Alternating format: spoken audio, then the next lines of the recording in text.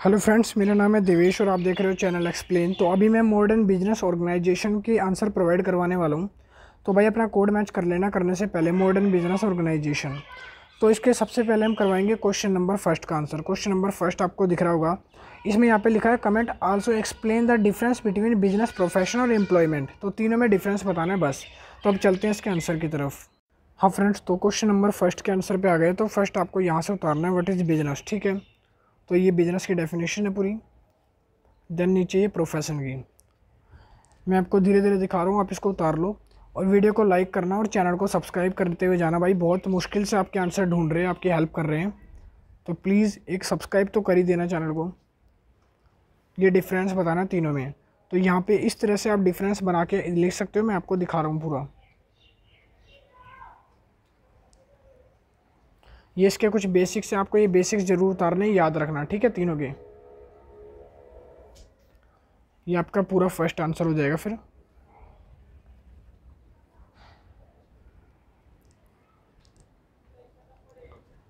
और वीडियो को लाइक करके चैनल को सब्सक्राइब करते हुए जाना भाई, बिल्कुल भी मत भूलना, ठीक है।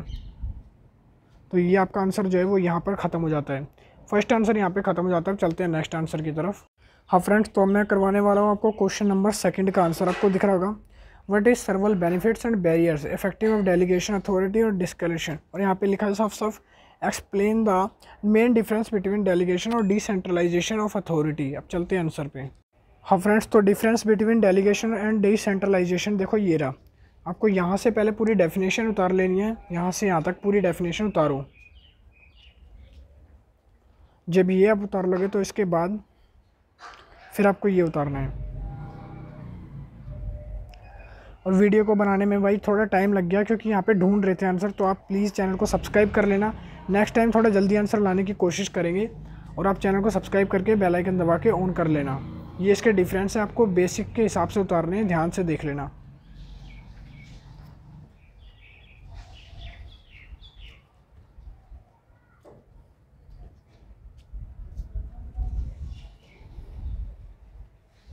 ये यहाँ तक आपको उतारना है पहले, फिर उसके बाद आपको रुक जाना है। और फिर उसके बाद आपको ये सब लिखना है। यहाँ पे जैसे कि प्रोसेस ये इसके पॉइंट्स हैं, ये डिफरेंस है पॉइंट्स के अंदर ही है मगर। नीड्स अगर आपका पेज भरा नहीं है, आपको थोड़ी जगह लगती है, आपके पास है तो आप ये भी लिख लेना ज़रूर। कंट्रोल एंड अथॉरिटी ये अथॉरिटी का। ये स्कोप और बस यहाँ पे आपका जो आंसर है पूरा ख़त्म हो जाएगा सेकंड भी। अब चलते हैं नेक्स्ट आंसर की तरफ़। हाँ फ्रेंड्स तो अब हम चलते हैं क्वेश्चन नंबर थर्ड के आंसर की तरफ़। Do you have the private company और पब्लिक कंपनी जो है उनके बीच में कंपेरिजन बताना है और फिर उसके डिसएडवांटेजेस बताने हैं प्राइवेट कंपनी के। तो फ्रेंड्स ये आपका आंसर है, यहाँ से आपको लिखना है। देखो प्राइवेट और पब्लिक कंपनी का पहले ओवरव्यू डालना है, यहाँ से यहाँ तक। पहले ये आप उतार लो। फिर उसके बाद ये प्राइवेट कंपनी आपको लिखनी है।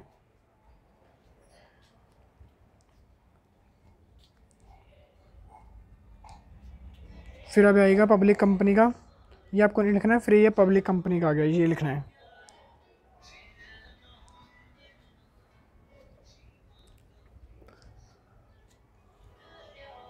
ये की डिफरेंस है इनके।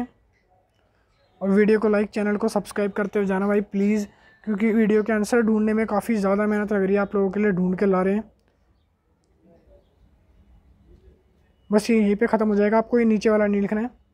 सिर्फ़ यहाँ तक आपको लिखना है, फिर यहाँ पे आपको रुक जाना है। हाँ फ्रेंड्स तो उसके बाद आपको कुछ डिसएडवांटेजेस लिखने हैं, आपको ये लिखना है disadvantages of private limited company ठीक है? तो ये रे यहाँ से मैं आपको दिखा रहा हूँ नीचे। तो ये आपको लिखना है, ये डिसएडवांटेजेस इसके सारे।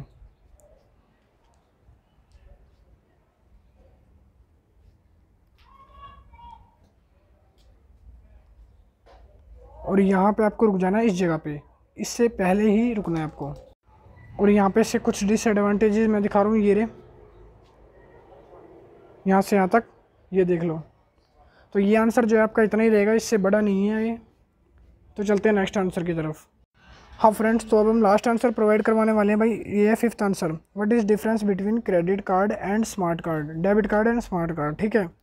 और यहाँ पे नीचे लिखा है which payment is better than credit card and debit card तो चलते हैं आंसर की तरफ़। हाँ फ्रेंड्स तो ये इसका आंसर है, यहाँ से आप देख लो difference between debit and credit card तो पहले आपको ये लिखना है।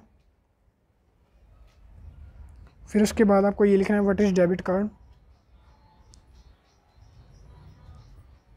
what is credit card और ये इसका डिफरेंस है, मैं दोनों आपको दिखा रहा हूँ, ठीक है?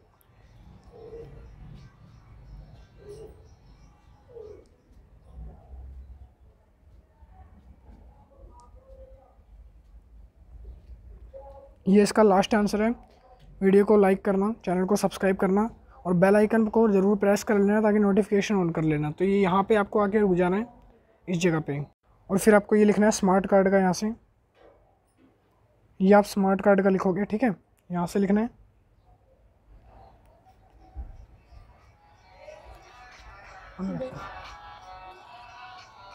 ये यहाँ तक आपको लिखना है, फिर रुक जाना है। हाँ फ्रेंड्स तो उसके बाद आपको फिर यहाँ से ये लिखना है सारा का सारा। मन्नू फ़ोन लेके गया नहीं है? वो कहाँ से करेगा? भैया के पास कर फिर ये करना है उसके बाद यहाँ तक। फिर आपको ये लिखना है पूरा। और ये आपको यहाँ तक लिखना है फिर आपके सारे आंसर कंप्लीट हो जाएँगे। तो वीडियो को लाइक करना चैनल को सब्सक्राइब करना। मिलते हैं नेक्स्ट वीडियो में।